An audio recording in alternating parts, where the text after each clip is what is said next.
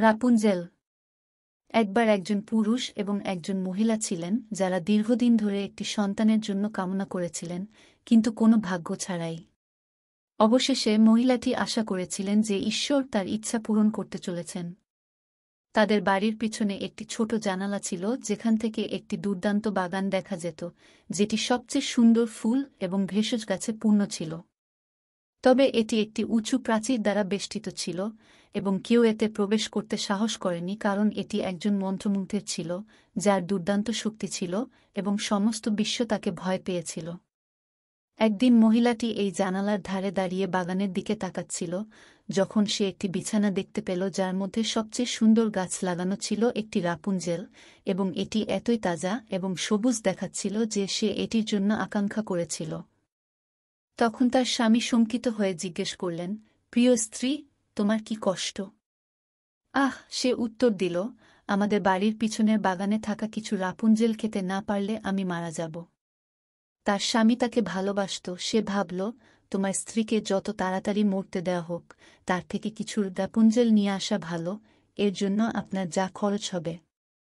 যখন অন্ধকার হয়ে আসছিল, তখন সে মন্ত্রমুগ্ধের বাগানে দেয়ালের উপরে নেমে পড়ল তড়িগড়ি করে এক মুঠো রাপুঞ্জেল গাছটি ধরে তার স্ত্রীর কাছে নিয়ে গেল। তিনি সঙ্গে সঙ্গে নিজেকে এটির একটি সালাদ বানিয়েছিলেন এবং তা খেয়েছিলেন। এটা তার কাছে খুব ভালো লেগেছিল, এত ভালো যে পরের দিন সে আগের চেয়ে তিনগুণ বেশি চেয়েছিল। যদি সে বিশ্রাম পায়, তার স্বামীকে আবার বাগানে নামতে হবে। সন্ধ্যার অন্ধকারে সে আবার নিজেকে নিচু করে ফেলল, কিন্তু যখন সে প্রাচীর বেয়ে নেমে পড়ল, তখন সে ভয় পেয়ে গেল কারণ সে তার সামনে জাদুকরীকে দাঁড়িয়ে থাকতে দেখেছিল। তুমি কি করে সাহস করতে পারো? সে রাগান্বিত দৃষ্টিতে বলল, আমার বাগানে নেমে চোরের মতো আমার দ্যাপুঞ্জেল চুরি করো। এর জন্য তোমাকে কষ্ট পেতে হবে। আহ, তিনি উত্তর দিলেন, ন্যায় বিচারের জায়গায় করুণাকে নিতে দিন। আমি কেবল প্রয়োজনের জন্য এটি করার সিদ্ধান্ত নিয়েছি। আমার স্ত্রী আপনার ড্যাপুঞ্জেলকে জানালা থেকে দেখেছিল এবং এটির জন্য এমন আকাঙ্ক্ষা অনুভব করেছিল যে সে মারা যেতে পারে। যদি সে কিছু খেতে না পেত। তারপর জাদুকরি তার রাগকে শান্ত করতে দিয়ে তাকে বলল, তুমি যদি সত্যি কথা বলো, আমি তোমাকে তোমার সাথে যতটা রাপুঞ্জেল নিয়ে যেতে দেব, আমি শুধু একটা শর্ত দিচ্ছি, তুমি আমাকে বাচ্চাটা দিতেই হবে। যা তোমার স্ত্রী পৃথিবীতে আনবে, তার সাথে ভালো ব্যবহার করা হবে এবং আমি মায়ের মতো তার যত্ন নেব।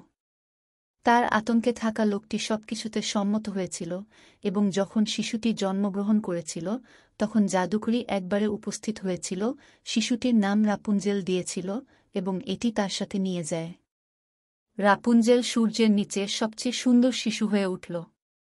যখন তার বয়স বারো বছর তখন জাদুকরি তাকে একটি টাওয়ারে বন্ধ করে দিয়েছিল, যেটি একটি বনে ছিল, এবং সিডি বা দরজা ছিল না, তবে একেবারে উপরে একটি ছোট জানালা ছিল।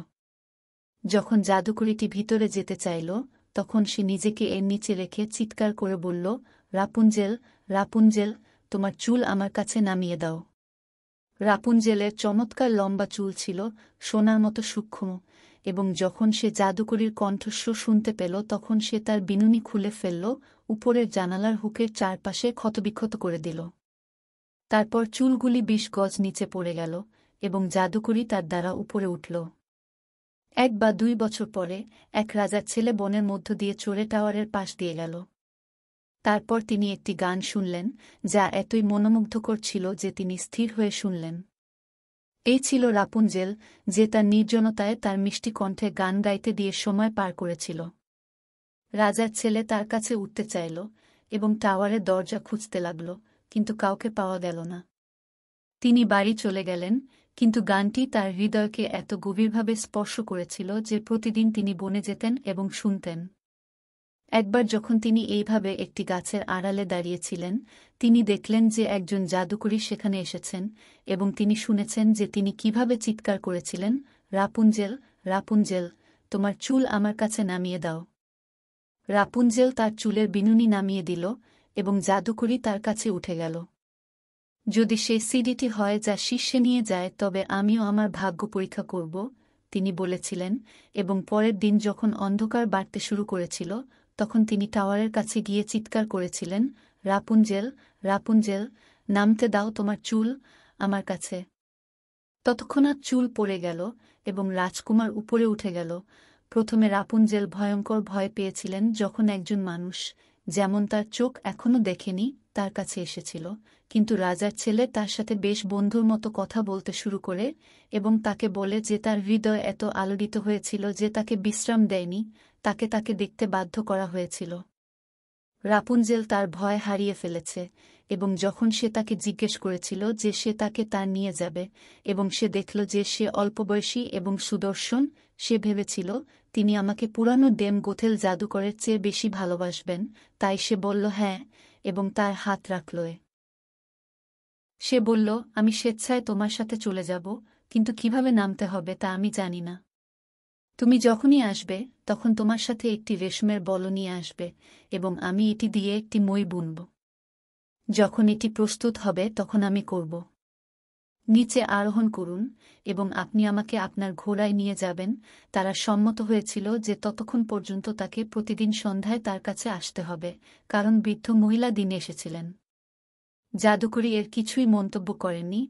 যতক্ষণ না একবার রাপুঞ্জেল তাকে বলেছিলেন, আমাকে বলুন, দেম গোথেল, কীভাবে এটি ঘটে যে আপনি আমার কাছে যুবক রাজার ছেলের চেয়ে অনেক বেশি ভারী? তিনি এক মুহূর্তে আমার সাথে আছেন। আহ! তুমি দুষ্ট শিশু, মন্ত্রমুগ্ধ চিৎকার করে উঠল। আমি কি বলতে শুনি? আমি ভেবেছিলাম আমি তোমাকে সমস্ত পৃথিবী থেকে বিচ্ছিন্ন করেছি তবুও আপনি আমাকে প্রতারণা করেছেন, তার রাগে সে রাপুঞ্জেলের সুন্দর চুল আঁকড়ে ধরে, তার বাম হাতের চারপাশে দুবার জড়িয়ে, ডান দিকে এক জোড়া কাচি ধরে এবং স্নিপ স্ন্যাপ সেগুলি কেটে ফেলছিল এবং সুন্দর বিনুনিগুলি মাটিতে পড়েছিল। তিনি এতটাই নির্মম ছিলেন যে তিনি দরিদ্র রাপুঞ্জেলকে একটি মরুভূমিতে নিয়ে গিয়েছিলেন যেখানে তাকে ভীষণ শোক ও দুঃখের মধ্যে থাকতে হয়েছিল।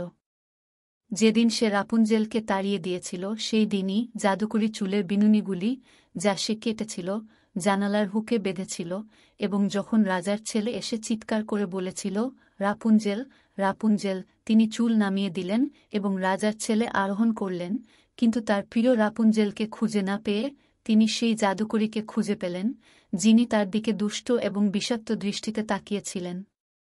আহা, সে উপহাস করে কেঁদে উঠল। আপনি আপনার প্রিয়তমকে নিয়ে আসবেন, কিন্তু সুন্দর পাখিটি আর নিদে গান গাইবে না। রাপুঞ্জেল আপনার কাছে হারিয়ে গেছে, আপনি তাকে আর কখনো দেখতে পাবেন না। রাজার ছেলে ব্যথায় নিজের পাশে ছিলেন এবং তার হতাশার মধ্যে তিনি টাওয়ার থেকে লাফিয়ে পড়েছিলেন। সে তার জীবন নিয়ে পালিয়েছিল, কিন্তু যে কাটা পড়েছিল তা তার চোখ বিঁধেছিল। তারপরে তিনি বনের চারপাশে অন্ধভাবে ঘুরে বেড়ালেন, শিকড় এবং বেরি ছাড়া কিছুই খাননি এবং তার প্রিয়তম স্ত্রীর জন্য কাঁদতে ছাড়া আর কিছুই করেননি। এইভাবে তিনি কয়েক বছর ধরে দুর্দশার মধ্যে ঘুরে বেড়ালেন এবং অবশেষে মরুভূমিতে এলেন যেখানে রাপুঞ্জেল তার যমজ সন্তানের জন্ম হয়েছিল, একটি ছেলে এবং একটি মেয়ে হতাশায় বসবাস করত। তিনি একটি কণ্ঠস্বর শুনতে পেলেন এবং এটি তার কাছে এত পরিচিত বলে মনে হয়েছিল যে তিনি এটির দিকে এগিয়ে গেলেন এবং যখন তিনি কাছে গেলেন, রাপুঞ্জেল তাকে চিনলেন এবং কাঁদলেন। তার দুটি অশ্রু তার চোখ ভিজিয়েছিল এবং সেগুলি আবার স্পষ্ট হয়ে ওঠে এবং সে তাদের সাথে আগের মতো দেখতে পায়। তিনি তাকে তার রাজ্যে নিয়ে গিয়েছিলেন যেখানে তাকে আনন্দের সাথে অভ্যর্থনা করা হয়েছিল এবং তারা দীর্ঘকাল সুখী এবং সন্তুষ্ট ছিল।